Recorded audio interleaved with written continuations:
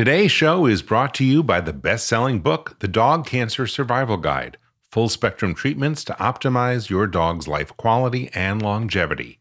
It's available everywhere books are sold, in both paperback and digital editions, and on the publisher's website at dogcancerbook.com. Use coupon code PODCAST on that website to get 10% off the Dog Cancer Survival Guide today. Can you imagine how helpful that would be from a conventional oncology standpoint, from a cannabis perspective, and from an herbal perspective? So, what I would do is you'd be able to see your patient and say, What do I need to adjust to get my patient's immune system better? Their endocannabinoid system healthier, other aspects, their liver healthier, whatever it may be. And then how do I look at that patient and their tumor and figure out what drugs I need to use from a conventional and integrative perspective to, that would work best for that patient. Welcome to Dog Cancer Answers, where we help you help your dog with cancer. Here's your host, James Jacobson. Hello, friend, and welcome to Dog Cancer Answers. Today, we are joined by two unicorns of the veterinary profession, Dr. Kendra Pope and Dr. Trina Hazzah. Why do we call them unicorns? Well, these are two of the four integrative veterinary oncologists in the United States. That's why we think of them as unicorns. We are going to explore what is going on in holistic and integrative oncology today, as well as new developments on the horizon. Now, this is a longer episode because we get into a great conversation, but it is worth every second of your time. So please grab a beverage as you listen. And a tech note for regular listeners to Dog Cancer Answers you'll hear a short segment in this interview where the audio quality is it's just not up to our normal standards at Dog Podcast Network. And that is because we ran into a little technical glitch while we were recording, but we decided that the content is so important and something that you need to hear. We included that short segment in this overall interview. You'll hear it. Dr. Kendra Pope, Dr. Trina Hazzah, thank you so much for being with us on our first, and hopefully not last, Holistic Integrative Veterinary Oncology panel. Welcome. Pleasure to be here. So, by way of introduction, I will let you do the heavy lifting. Both of you have been on our show before, but can you give us a short elevator uh, introduction for yourself, Dr. Hazzah? Sure. Veterinary integrative oncologist in Los Angeles, California. Worked at uh, VCA West LA for, God, about 11 years, and recently just left to start a cannabis consulting service where I'm offering pet parents what I call a harm reduction education guidance, where I'm helping them figure out safe avenues to implement cannabis for a variety of different conditions, not just cancer, but other conditions as well. Of course, I get a lot of cancer cases, which I I think feel very near and dear to my heart, considering I spent most of my life being um, in the oncology space. And that's honestly most of my interest is cannabis and cancer for sure and the ability for cannabis to have anti cancer effects and support the patient from a quality life perspective as well. Um, and then I also I'm a co-founder and president of a nonprofit called the Veterinary Cannabis Society, which is the first 501c3 nonprofit dedicated to education and advocacy for cannabis for pets. And Dr. Pope? I'm also an integrated veterinary oncologist. Trina and I are very much kindred spirits and soul sisters.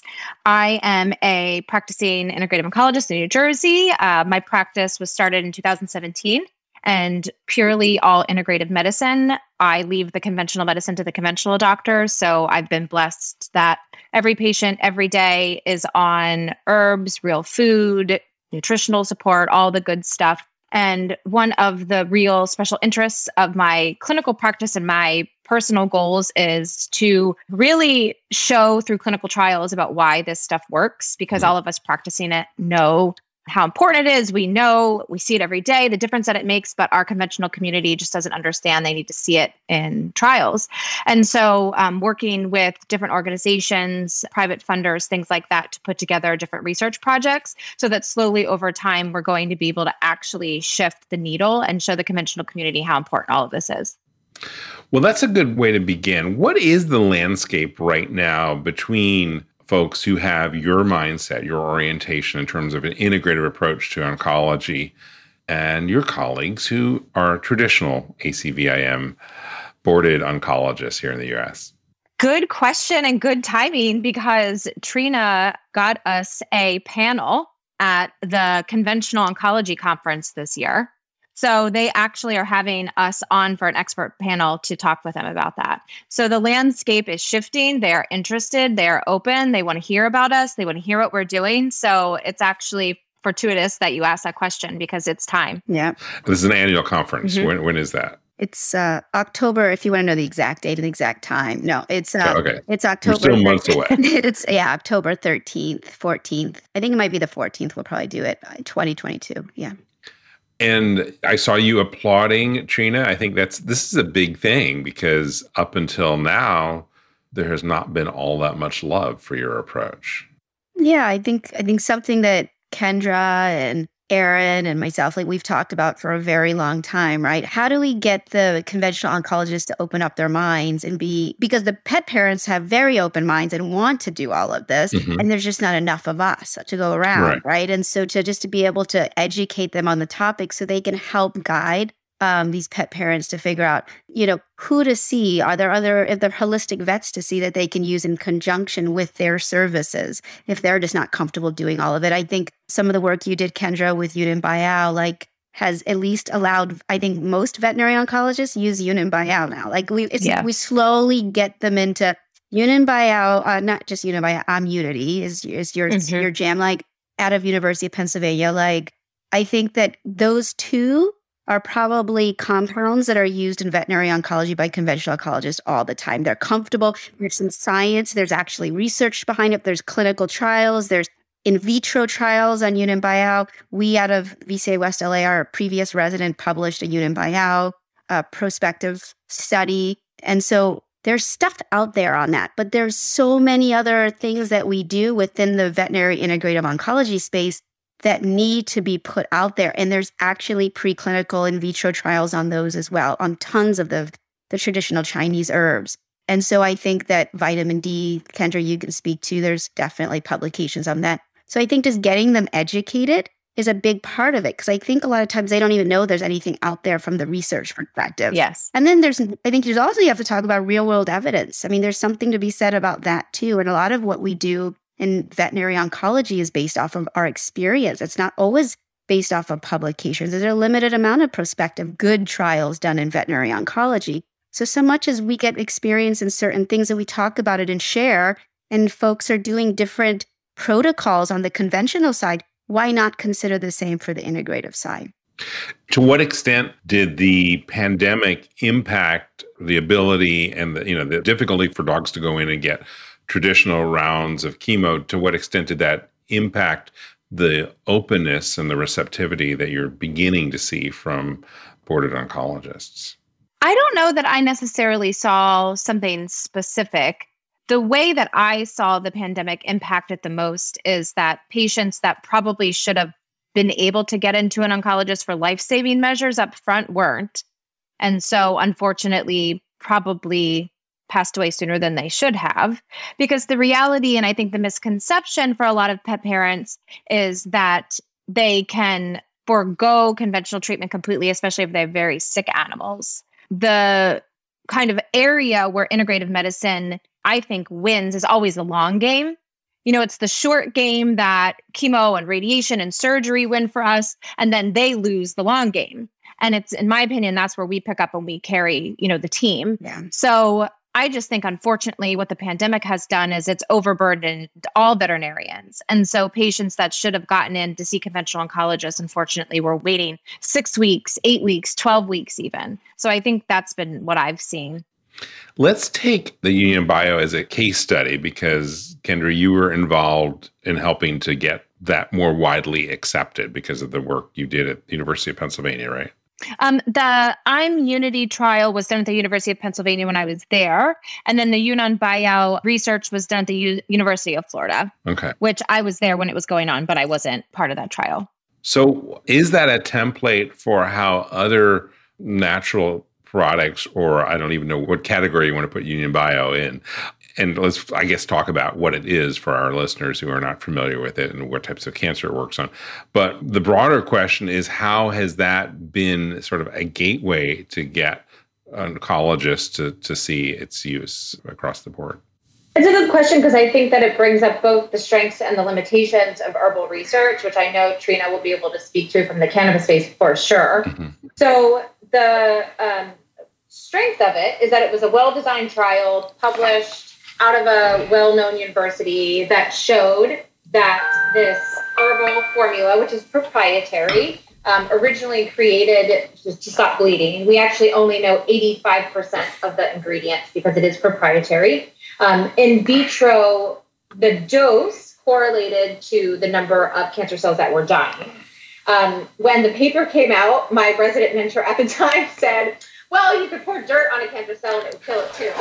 so the major criticism is that of what is of many in vitro trials is that will it correlate to an actual animal? Will it actually kill cancer cells in an animal? And so that is the main criticism. However, the reason that oncologists like it is because it's a well designed published trial out of a well known university. And so it gives them something to hold on to when someone says, Why are you doing that? And they can reference that paper. When it comes to studying herbs, the Western approach to clinical research is based on single constituents or, or breaking it down to phytopharmacochemistry and phytopharmacology and cannabis research does this beautifully, where all the individual compounds are looked at on their individual basis and then as a whole with the entourage effect. But a lot of herbalists will tell you that when they practice herbal medicine clinically, not only are they not using individual constituents of one plant, they're using all of the constituents of multiple plants. And so when it comes to putting together clinical trials, from a clinical trial design perspective, that gets very messy. Um, so, in my opinion, when doing those types of trials for that type of medicine, you really need to be looking outside the box and probably looking at different data points and endpoints and parameters. And it requires a little bit of a different um, trial design. There are people doing that, and it comes down to you know quality of life parameters, um, probably blood work changes, monitoring tumor responses. So I think that in order for holistic and integrative medicine to truly be accepted by the conventional community, there will have to be some degree of shift in acceptance to what is considered high quality trials because fundamentally it'll be very difficult for us to do it the same way we do with our pharmaceutical products. But then the question becomes financial in part, doesn't it? Because it's extremely expensive to do these high quality studies that are usually underwritten by big pharmaceutical companies because they have the margins that are necessary. Whereas if you have a natural compound or an herbal compound, you know, Yunnan Baiyao being sort of an exception because you only know 85% of the ingredients. But, you know, it would be easy for someone to basically knock it off. Whereas if it's a proprietary thing protected by IP, the pharma companies have the budget and they'll invest in it. So, how do you reconcile that? And I know, Trina, I, you have a lot of thoughts on that because this is definitely the case with marijuana and, and CBD and THC. Yeah, no, I think it's I think it's a very difficult position because I think Kendra brought up a good point about the quality of life part too. I think that if the endpoint is just survival time, we're probably going to lose, right? Like, mm. but if you look at the amount of improvement in quality of life, it's astounding. It's astounding. Like, and you look at the the clinical trials that have been done for cannabis based clinical trials, and you look at the end stage cancer clinical trials, the quality of life is like unbelievably different for these patients that are on cannabis. I mean, from sleep to depression to pain to able to interact, perception of their cancer, perception of end of life. I mean, all the things that our pets deal with too um, has been proven time and time again.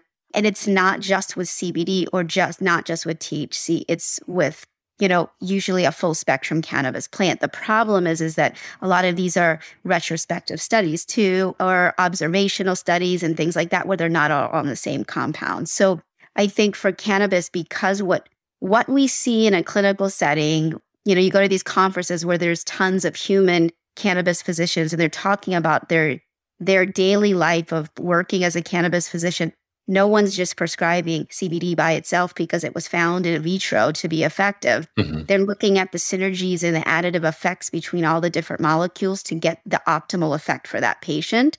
And so, how do you do that? Is you have to create the way I look at it is you probably have to do crossover studies, right? And then you'd have to be able to do compounds that are really robust in cannabinoids and terpenoids and so forth, put them together, and then look at various parameters and not just, again, survival time for a cancer patient or what's happening in a petri dish. It's what we're seeing in the patient is very, very different. And I think it will take time. I think finances are, are a big part of it, but I'm talking about the legal aspect is a huge part of that with cannabis. And that's why even in the human clinical trials, they're using, you know, NIDA it's a type of cannabis that's grown out of the University of Mississippi. They're only stuck using the one particular cannabis that is basically a CBD. It's like an isolate or a THC isolate. You're getting like these isolates. It's just one of the many compounds that are in 750 yeah. compounds found in the cannabis plant. You're getting one, maybe two. One. That's not mm-hmm. what the average patient is getting that has prostate cancer or breast cancer. They're going to dispensaries and they're seeing cannabis doctors that are putting them on a robust, you know, cocktail of different mm-hmm. cannabinoids and terpenes and flavonoids. So I think that it's happening, right? When big pharma comes in, which is already happening, right? There's big pharma coming in and creating some of their own interest. What I think we're seeing, honestly, is we're proving that CBD isolate, like they did for Epidiolex, the first FDA approved, right, CBD product, is a basically a CBD isolate, right? And they showed that it was effective for two different seizure conditions guess what? If you were to add in a little bit of THCA or CBDA or whatever it may be, you may end up being really effective for some of those conditions. Because talking to some of the cannabis physicians out there, they're like, Epidiolex is not working as well as some of the stuff I'm able to get from a local dispensary, right? But insurance covers it because it's FDA approved, right? And so I think there's a lot of hoops to jump through. I think clinical trials are tricky when it comes to botanical medicine. And I think a lot of the reason is, is that we look for the really the additive and entourage effect for so many of these traditional like Chinese herbs, Western herbs, cannabis that I think it's very hard unless it's a very thoughtful process. And I'll say one last thing and then I'll let Kendra speak is that I think that either the companies, the pharmaceutical companies, the universities that are doing that aren't necessarily going to the experts in that field. They're creating it on their own and they don't understand what's happening in real world. So they say, I put together this really great protocol or this study design, but it's not, if they had gotten Kendra's opinion or gotten my opinion, I would say, hey guys, tweak it like this because it's not going to work. And this is why cannabis needs to be stepped up in a dosing fashion. You're going to make all your dogs intoxicated. You need to do this. But I think there's a disconnect between the practicing integrative doctors and the people that are in doing research that aren't actually practicing and seeing what's happening in the real world. And I think our assistants will really benefit them in study design and really trying to make a more impactful study design. Kendra, what are your thoughts specifically about the financial component of this? All the points that Trina made for sure. And when it comes to the financial part about it, I think that just like with the trial design and the data points that we're collecting and the endpoints that we're looking at, I think that it just requires us to look at it differently and be a little bit more innovative. In my opinion, there are some natural funding. There's a specific um, subgroup of the NIH that's for natural compounds. And so that's where a lot of the integrative and holistic researchers go to get funds on the human side. But there are a lot of platforms now for things like crowdfunding and public interest um, that are very interested in this space because they understand it's underserved from a financial perspective. Mm-hmm. I think that there's also people that are motivated to donate to causes like this because they realize that pharmaceutical companies and industry drives research and that it's not necessarily about the real problems and the real needs. I may have mentioned this before on the last podcast that we had, but there was a publicly funded clinical trial that was all from small donations from pet parents that was looking at how long a rabies vaccine lasted in typical dog populations. And over a million dollars in small donations was raised. And they proved that a single rabies vaccine lasts over eight years in 80% of dogs. And that was just from pet parents that knew that they shouldn't be vaccinating their dogs every three years and they wanted more information about that. So I think that there's real opportunities there from a crowdfunding perspective. When you talk about clinical trials and the cost to do it in humans versus the cost in animals, it's substantially less expensive to do it in animals. One, because there's not as many hoops to jump through as there are in clinical trials with people, but also because unfortunately our pets don't live as long. Mm. So we get data faster than we do in people. And so, for example, I had a grant funded trial for acupuncture um, in 80 dogs, and the entire grant was about $40,000. I spoke to a human colleague, and he told me that same exact trial, same amount of patients would have been 1.5 million in people. So it's substantially less expensive to do it in animals. I do believe that there's motivation from the public and crowdfunding. And I do believe that there's donors out there that are looking to support these types of causes because they understand that there's no, you know, big money like there is with pharmaceutical companies. So I think that it just requires us to be innovative like it always has with everything that we do as holistic practitioners. That is fascinating on so many levels. But let me follow up on the rabies study that was done that said that it lasts for eight years on average. Has that now become accepted among the veterinary community? No, no, no. okay. Okay. I was like, good research, cheap study, but still not accepted. So there is a paper published, and I need to get the exact source because I see people cite it all the time. Um, but they say that it takes 17 years of consistent scientific data to change clinical practice. That's how long it took. Wow. Okay. Well, luckily for you and for so many people who are going through dog cancer, they're willing to kind of like maybe not do things that are fully vetted with all the scientific literature. Let's take a short break here and we will be right back with the latest in integrative cancer treatment options. Stay tuned. So, what are you all most excited about these days in terms of treating cancer in dogs from an integrative approach? Most excited about? Do you have one, Trina? I think genetic testing. Like, I really like the genetic testing part of it. Like, FidoCure, Vidium, like what they're doing, I think there's a lot to be said about that. I think that this has been going on in human medicine for a period of time, and we got on board. And obviously there still needs to be more research and there needs to be more there needs to be clinical trials there needs to be all of these things right but and this treatment arm of it is a little different right like it's not always as accurate there could be a different driver than we suspect it mm-hmm. to be on the test but you know I, I obviously i think from a cannabis perspective too that you know a lot of the mutations that occur or gene upregulations could be downregulated by certain cannabinoids, right? And so if I was able to know certain things that were upregulated, like just this is like my dream, right? You do a, a genetic testing on a dog on their actual body, right? So you know what their either cytochrome P450 system, meaning they're metabolizing, you know, enzymes are in their liver. Uh, do they have any certain mutations, like border collies or collies or whatever they, what we already know to test? Are there anything we need to know about the patient from an endocannabinoid system? Do they normally have lots of endocannabinoids? Are they deficient? Do they have too many enzymes? If you could look at the patient as a whole and say, I know them from a genetic standpoint, and then I look at the tumor from a genetic standpoint. Can you imagine how helpful that would be from a conventional oncology standpoint, from a cannabis perspective, and from an herbal perspective. Hmm. So, what I would do is you'd be able to see your patient and say, What do I need to adjust to get my patient's immune system better, their endocannabinoid system healthier, other aspects, their liver healthier, whatever it may be.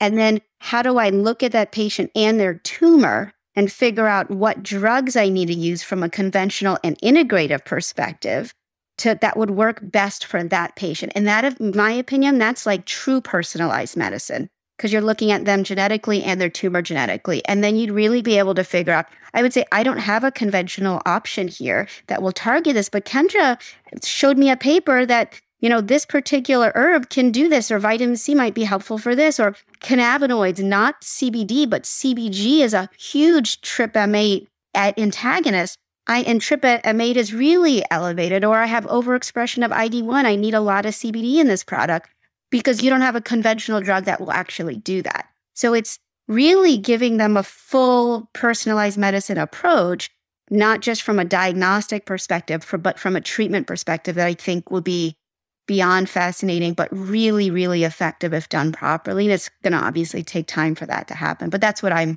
clearly very excited about right now talking about. That's interesting, Kendra. I will ask you that question in a moment, but let me follow up on that, Trina, in terms of that super personalized approach where you're starting with the genetic testing. Mm-hmm. Again, to bring it down to dollars and cents, how expensive might that be compared to the traditional, you know, five to eight thousand dollars or whatever we quote for you know a standard of care? Well, it's like a shooting in the dark approach. That's what you're saying, right? You're saying, well, how do you compare shooting in the dark versus knowing what you're really needing to attack? So I don't even know if you can compare the two, to be honest with you. From a diagnostic perspective, I think as things get more precise, there's going to be points where we're not going to have to do CTs and MRIs and and in x-rays every three months we're going to be able to do a blood test and be able to mm. figure out if there's cancer recurrence where it is in the body i bet you'll be able to locate it soon enough um, so i think that actually from a cost perspective and I think it's combining the right companies to do it. It's not going to just be one. It's going to be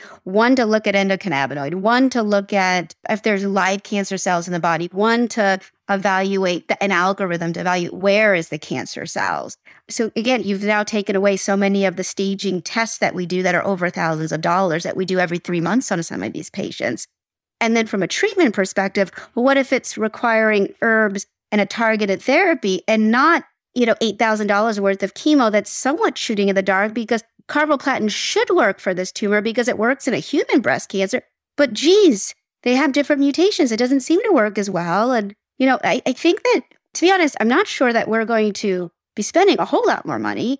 And again, I'm just kind of guessing this right now, but right. I think that there's a chance that you actually may be much more accurate in your diagnostic and treatment approach for not, I don't know, not that much more money if done properly fascinating. Yeah. Kendra.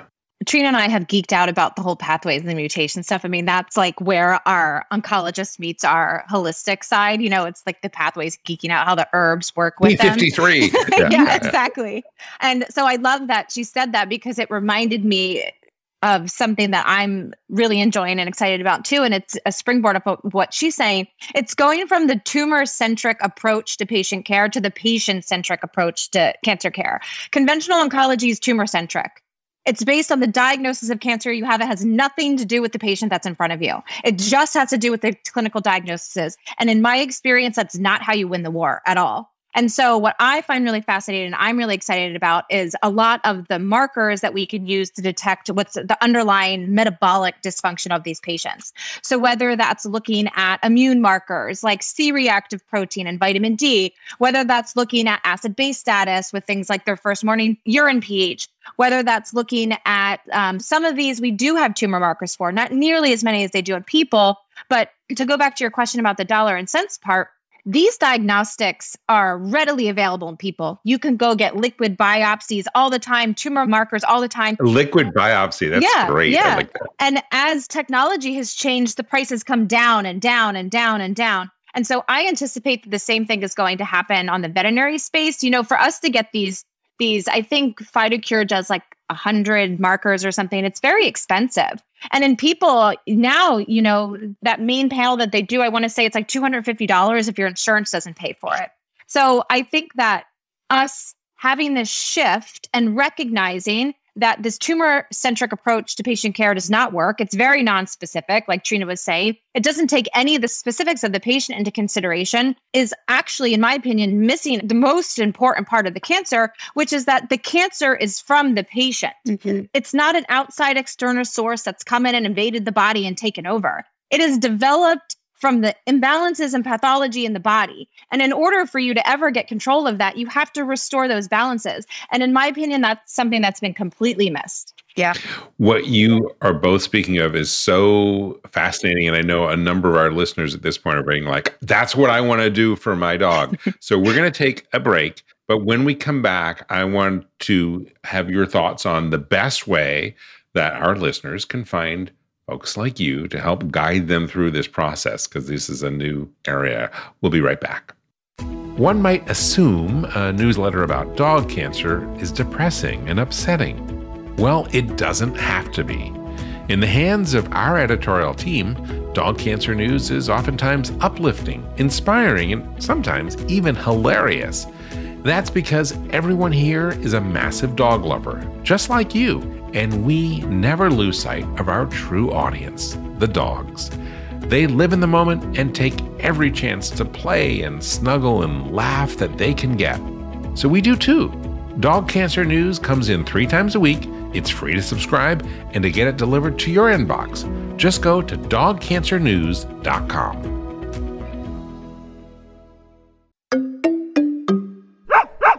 We are back. So, what we were talking about before the break is all these really interesting things that I think appeal to a lot of the people who listen to this show. And so, if you have a cancer diagnosis and you got it from the GP and you may have gone to an oncologist or maybe not, what is the first step if someone's thinking, I really want to go this integrative approach? So, I always tell owners, and I think that this is something that is really difficult is to take a deep breath and then to start strategizing. Because that cancer, although it may feel like it popped up overnight, it may feel like you have to do something about it tomorrow. In most instances, you have some period of time where you can strategize and get your team together because that's the most important thing. Oftentimes, owners only seek one conventional opinion. It may be impossible to seek more than that, but sometimes that's important, especially if you're dealing with a non traditional type of cancer, or maybe the oncologist that you met is recommending a treatment that's not aligned. And oftentimes, that's not too aggressive. In my experience, a lot of times owners are feel frustrated because they feel that a veterinary oncologist has already given up on their pet before they've even started. Mm. So finding an oncologist that is aligned with how aggressive you want to be and what you want to do and also open to your interest in integrative medicine is what I think is most important. To find other practitioners in your area that can support you. There's many holistic veterinarians. There may not be ones that are integrative oncologists, obviously, because there's only a handful of us but a lot of them can consult with us or consult with other people that do things like what we do and help to put a treatment together. So, what I always suggest owners do is to take a deep breath, to understand that that cancer has probably been developing for at least a few years, you know, on the microscopic level up to where it is now, and that you have time to get a good plan in place so that when you're ready to run, you have all those people on your team that are going to tell you how to do that. So, your advice is to start with a holistic veterinarian who can consult with an integrative oncologist. Or, you know, the reality is that the, and Trina can speak to what she thinks the most, I guess, um, valuable part that we add to it is that we can give both sides of the opinion. Yep. The patient can still get a lot of the same treatments with a holistic veterinarian as they could with us. Mm-hmm. It's just going to be a lot of my clients call me the quarterback. Yeah. You know, I'm kind of assessing the field and calling the plays, but the people on the field are doing the routes. So you can oftentimes get the same result without necessarily having that one person exactly on your team. Trina?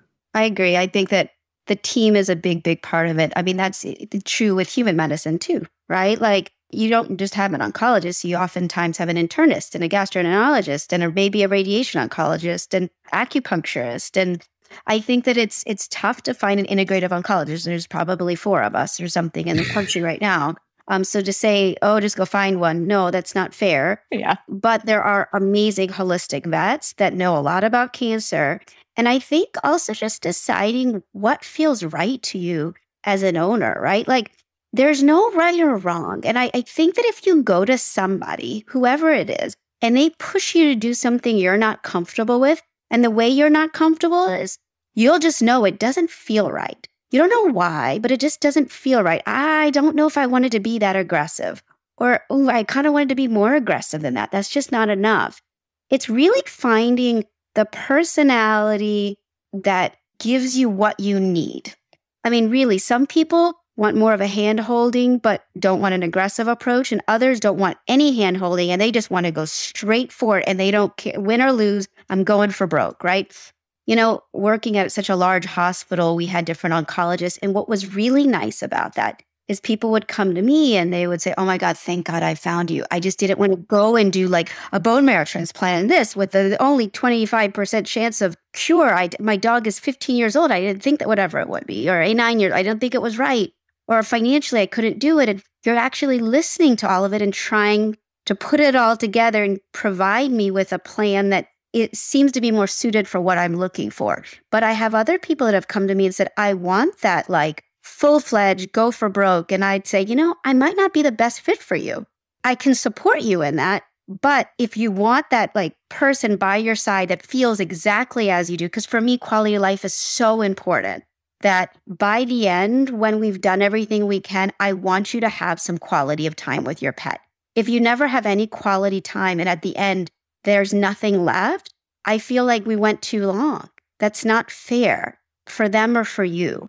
But everyone feels different. There's what, probably 500 oncologists, 450 oncologists now. I don't know how many there are. There's many of them. You will find the right oncologist for you. And that's super important is making sure that you guys have the same kind of vibe and same thoughts on what's important to you for your pet. And from the holistic side, there's many more holistic vets than there are oncologists. And so I believe that you'll find a holistic vet, even if you find a conventional oncologist that wants to go full fledged, but you want a little bit of someone to help with chemotherapy induced nausea through acupuncture, through herbs, cannabis medicine, uh, vitamin D testing, because your oncologist doesn't do that. Whatever it may be, I do think that thank goodness nowadays you're able to find a little bit. You may find an acupuncturist and you might find a Chinese herbalist, and then you might find an on- oncologist. And I think just what Kendra said about creating that perfect team, I really think prepares you for whatever the future holds because you have your your peeps if you will to really kind of take you to wherever that will be and i think from a integrative perspective the earlier we get involved i think gives us the best chance for longevity as well if we're really close to the end it's tough for our herbs and our botanicals to do as much as they can do once we can get there earlier and really support the immune system and figure out some of those deficiencies within the patient in my experience is we can get them further along than just the conventional route in ignoring those big, big deficiencies that are the true cause many times of what created the cancer in the first place.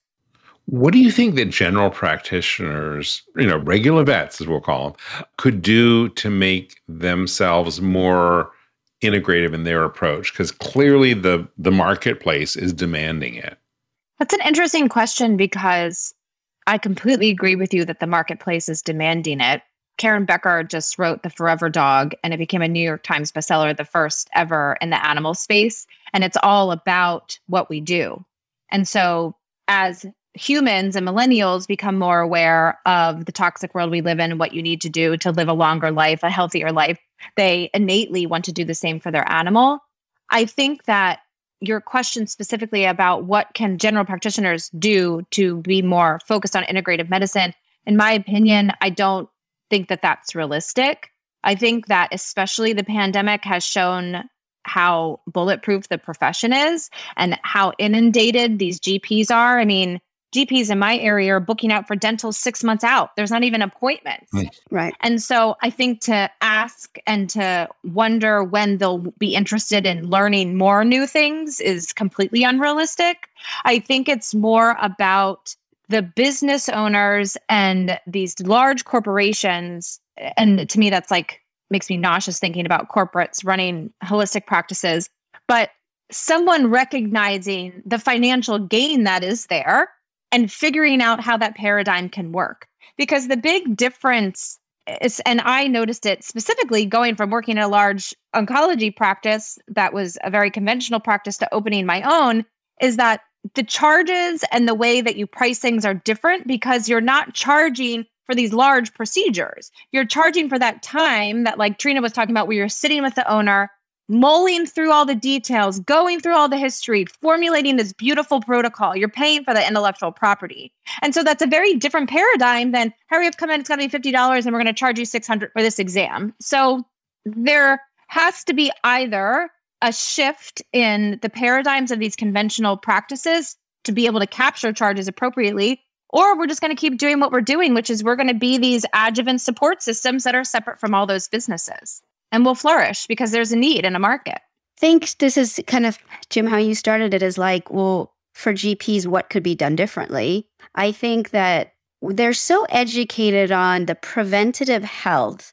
for dental disease. they're so educated on the preventative health for obesity. preventative health for skin, whatever it is. What about preventative health for cancer, for God's sake? Like, there are ways that we need to educate in that environment too. And so, if it's going to be a big corporation, if it's going to be Kendra going there and teaching or me teaching on the importance of preventative oncologic medicine, like, is there a way to do that? Absolutely. I 100% believe it. I think all those mutations, all those genetic alterations, all those things, some of them are preventable, some of them are.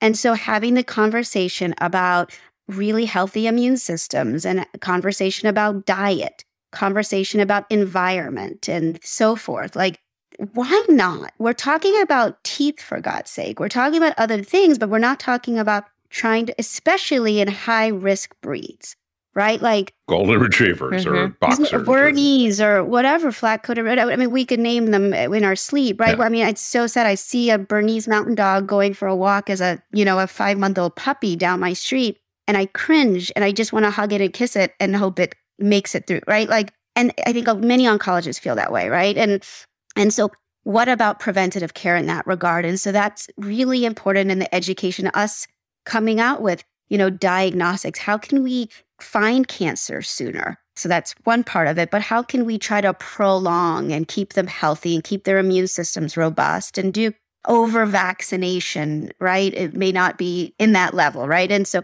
a paper like what you just described, Kendra came coming out, is very helpful to support that. And so I do think education on a kind of a preventative cancer level is very, very important. Doesn't mean when I say preventative, maybe prolonging is a better word in some of these cases but perhaps preventative could actually be the case and, and for some of them as well. That's so true. Well, will you ladies come back and have a discussion specifically about that thing? Because I think prevention and reducing the likelihood of getting cancer is something that every dog owner who has gone through it wants to know and, and wants to do better with. And I think that would be invaluable. Of course. Yeah, there's a lot of information. Even in the human side, there's a lot of information, mm-hmm. right? I mean, you think about the, I always think when I was studying for boards, as an oncology resident, I was reading through all of the TCC, the transitional cell carcinoma stuff, right? Remember that Scotty paper looking at like green leafy vegetables and colorful vegetables, reducing the risk of TCC and Scotty's. There you go, right? Like, yep, perhaps, you know,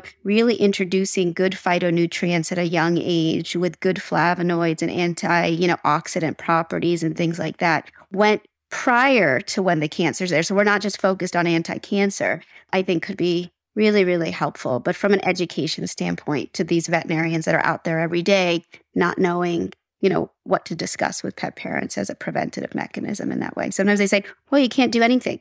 Just wait to see if it happens, you know, and, and that's not fair either. Yeah. Kendra Pope, last words. Oh, I get the last words?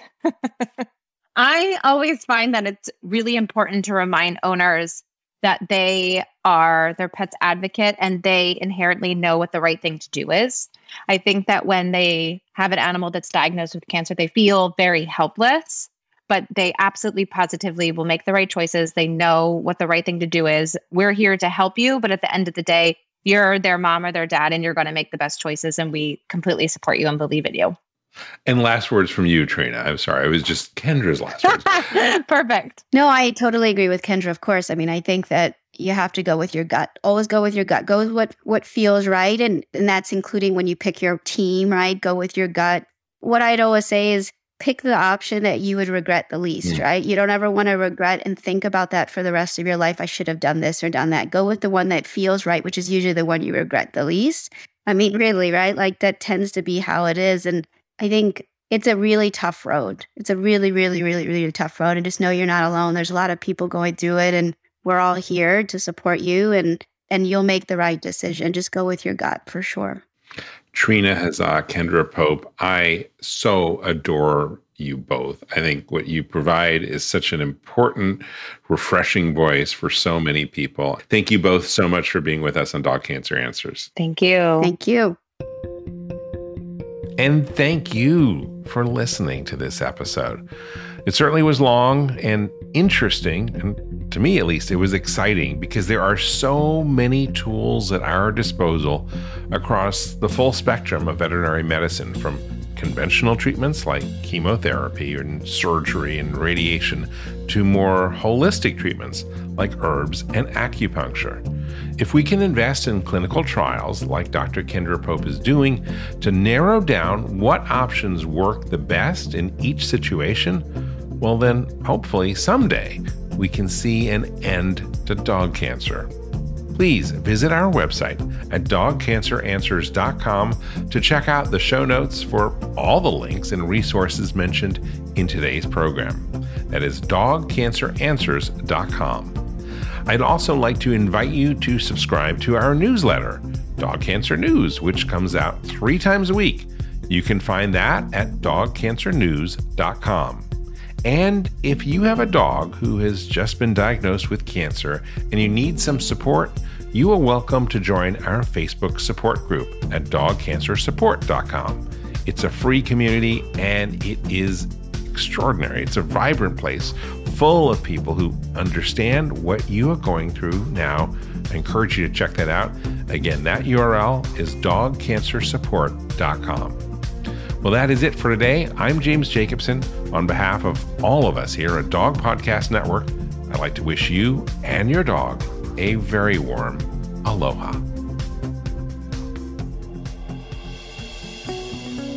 Thank you for listening to Dog Cancer Answers. If you'd like to connect, please visit our website at dogcanceranswers.com or call our listener line at 808 868 3200. And here's a friendly reminder that you probably already know this podcast is provided for informational and educational purposes only. It's not meant to take the place of the advice you receive from your dog's veterinarian.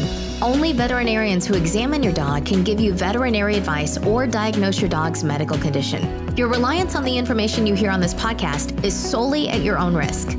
If your dog has a specific health problem, contact your veterinarian. Also, please keep in mind that veterinary information can change rapidly. Therefore, some information may be out of date. Dog Cancer Answers is a presentation of Maui Media in association with Dog Podcast Network.